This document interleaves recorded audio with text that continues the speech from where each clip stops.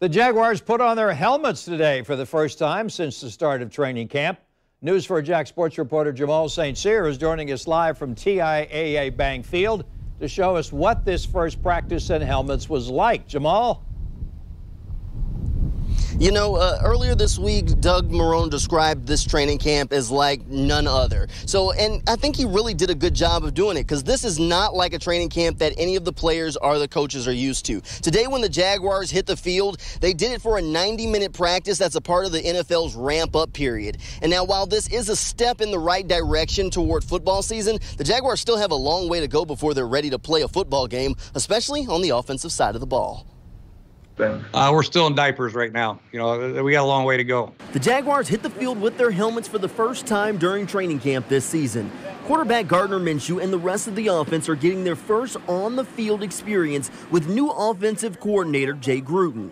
Coach Gruden says he likes what he's seen from Minshew so far, but he and the offense have a long way to go. I think we'll get it up to speed. This the good thing about the start of training camp has been a phase two-ish type deal where we've had a lot of meetings, we've had a lot of walkthroughs before we actually practice full speed. So these uh, last five or six days, we have a few more days leading up to our first practice has been good.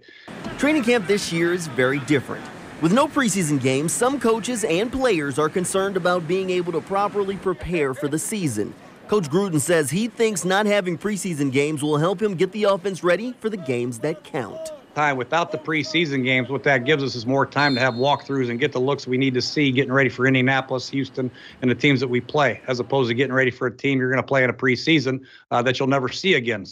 Coach Gruden says he's been impressed with what he's seen from Minshew so far in the classroom. The next step for Minshew is being able to make the calls in the huddle. And then I think once getting the offense, it's all about communication.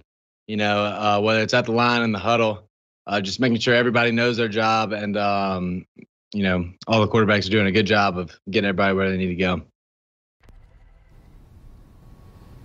Now, Coach Gruden says he's really been trying to challenge Gardner Minshew mentally in the classroom to get him prepared for the things that he'll see on the football field once they can really get this offense rolling. You can hear more from Gardner Minshew coming up a little bit later at 6 o'clock. For now, reporting live from TIAA Bank Field, I'm Jamal St. Cyr for Channel 4, the local station.